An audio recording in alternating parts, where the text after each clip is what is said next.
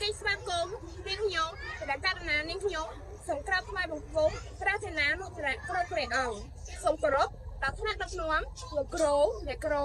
CEO និង CEO Master Club សូមគោរពដល់ទស្សនិកជនទីទីគោរពដ៏ពងពោះនាងខ្ញុំឈ្មោះកុងសិនិចមកពីសាលាវិទ្យាល័យហូសែនចង្រែដែលមានលេខសម្គាល់ខ2ដែលបានចុះឈ្មោះចូលរួមប្រកួតក្នុងកម្មវិធីអ្នកបន្តវេននៅលើវិញ្ញាសា ចែកចែកដេញដោលសាធារណៈជាភាសាខ្មែរ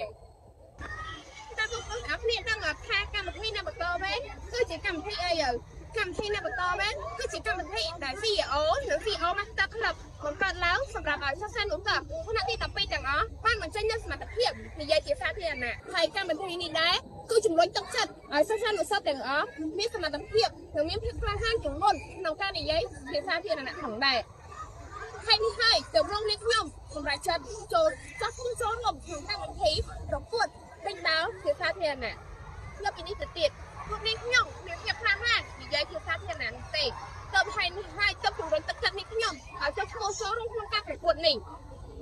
អត្ថប្រយោជន៍ដែលទទួលបានពីកម្មវិធីអ្នកបន្តវេនទី1អ្នកទាំងអស់គ្នាមានសមត្ថភាពគ្រប់គ្រាន់ក្នុងការនិយាយជាសាធារណៈទី2អ្នកគ្នាមានភាពក្លាហានជាងមុ នក្នុងការនិយាយជាសាធារណៈទី3អ្នកទាំងអស់គ្នាហ៊ាននិយាយហ៊ានតតល់ហ៊ានមិនចេញមតិនៅអ្វីដែលអ្នកទាំងគ្នាឆ្ងល់